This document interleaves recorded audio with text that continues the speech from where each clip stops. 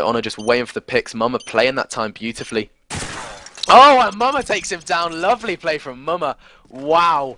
And that's 9-11, stopping that 12 appearing on the board for number one. As Good. that would have obviously meant possible overtime, and it's generally a messy business. Could we actually see a comeback? I would, I'd, go- I'd, I'd love to see it, yeah, indeed. Anyways, we start off here with Paradox. Won't be able to get any early picture of that smoke going up. top. Talksha's going to start us off in the run as he finishes off Cube.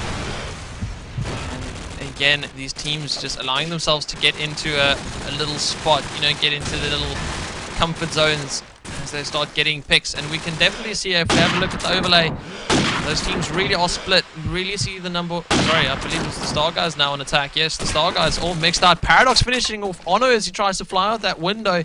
And Mama to take out Jermaine. And now, like these guys do, they instinctively remember which player plays where. They know if they take out an SMG or something, he's most likely going to be playing A. And as they get the kills, they're like, right, so we've opened up this location, let's go take him out. Like they would know, like a scope would generally be sitting in spawn kind of area.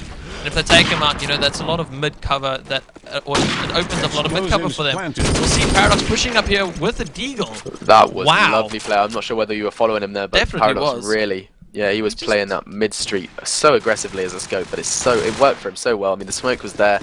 I mean, people tend to just neglect just how powerful the smoke can be. I mean, obviously, if they don't know you're there, that's a, it's a second wall. I mean, you, you're sat there, they don't know you're there, and it's such an advantage to players. And Paradox used it perfectly there.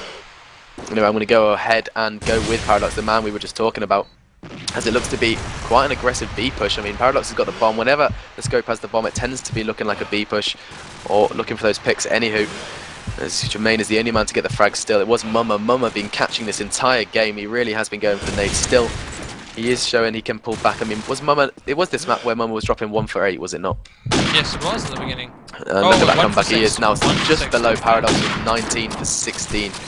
Massive pullback from Mumma as it is 2v4. Paradox and Cube, the two men standing.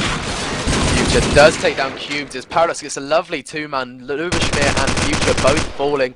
And now it's Future and Tox just stand between Paradox and a gorgeous, gorgeous four-man. I mean, there's no doubt behind Paradox's skill. He does have the bomb, making his job just that little bit easier. Whether or not he can pull this off, I mean, what, who's your money on? Uh, Future and Toksha, I'm pretty sure they've learned enough now that they don't need to go peeking and that they definitely have the ability to stop this man, especially with that little time left, and they know where he is. Wow. Paradox is trying to get that pick through the wall. He doesn't though, does he? He does push it, trying to catch him. He just just goes over that wall. Toxter just dance. Paradox 15 seconds, trying to land the no scope. It doesn't. And now 12 seconds. It's not looking like a Paradox. No bullets in that. Let's take down Toxter though. Last man standing is in fact Jermaine. Oh As my Jermaine what? goes down. Paradox coming up massive for stars. That was incredible play from Paradox there. Gorgeous four man. And there it is. 11-11. Wow. I wish I was on their team speak right now. Uh, indeed. You would have heard the keyboards breaking over the knees. And all Paradox has to say about it is complain about his mouse. My days. Oh well. That's what these This guys round worry is about. not going to go the same though as Luba Schmidt does land the nade onto Paradox. It's coming down to the rounds, and there's only two rounds left, and it, it means the difference between winning or tying for both of these teams. They pick up the next two rounds, it's a win for a team. If you know they pick, if they get one and they lose one, well, we'll see a tie come out. Now here we're talking again. They're stuck at underlook, and it's going to be difficult for those guys to get up. We have got a flank coming in in the form of who is there? Jermaine with that AK would be, should be able to get a pick or two, but he won't. And Ria's waiting there at the bottom. We'll finish him off. Talkshay gets the evening kill as he takes out Cubed. And he there's one, and Underlook has actually tagged Rio up.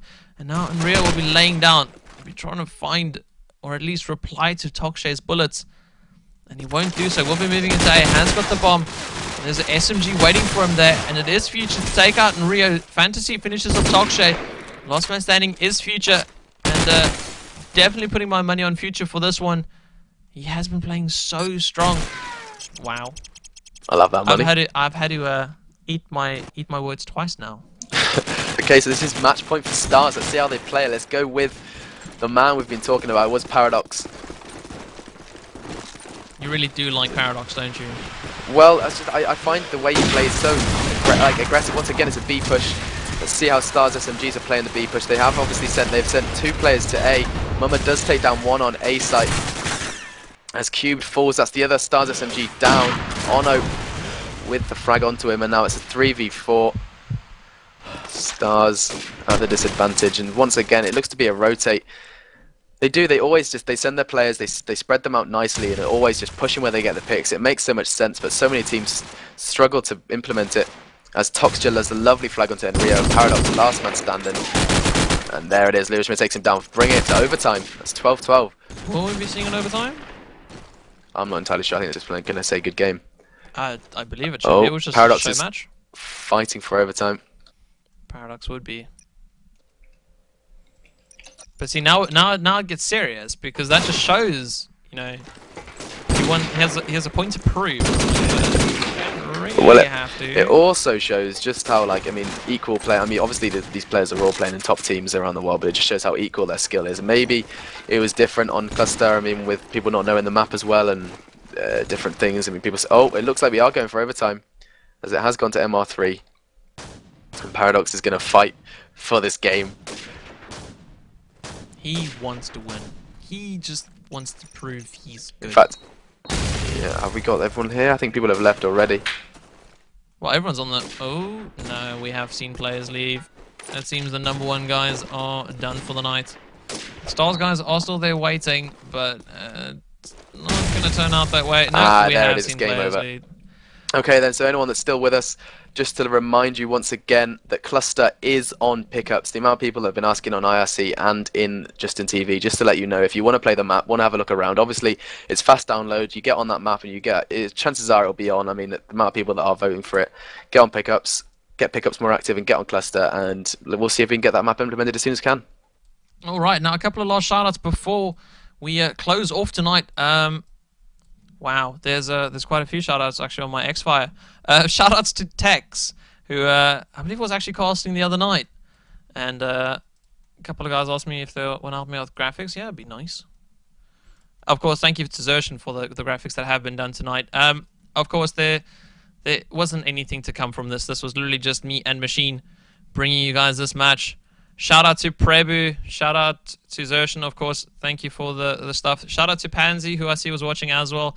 Uh, shout out to everyone that could actually watch the stream. I apologize again for the some of the guys that had a couple of net problems earlier on.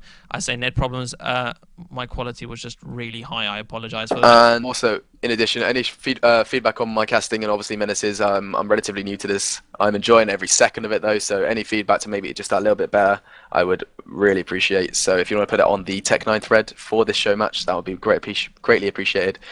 And I'm off to Italy tomorrow. Wow, Woo. nice one. But uh, yeah, guys. So as you said, uh, we are open up to criti- We are open to criticism. Please don't think we're not. Please don't think that we're just like some guys just sitting up here talking a load of rubbish. We are here for the community, and we do take every single word you say into consideration. So if you guys are something, you know, if you think we we follow the player too much, or if you think we. Uh, you know, our film tweaks are crap, or you know, if you don't like our voice, or if you just were having a bad day and feel like flaming, have fun. You know, Anyway, that's on Tech 9. Other than that, uh, thank you to everyone that was in IRC. Thank you to everyone that was watching. But uh, from myself and Machine and from Vita-Nova and everyone in the games tonight, I thank everyone for And this is ProMod. and of course ProMod. Yes, thank you to ProMod. Without them, we couldn't be playing Call of Duty competitively. But uh, from myself and Machine for tonight, good night. Good night.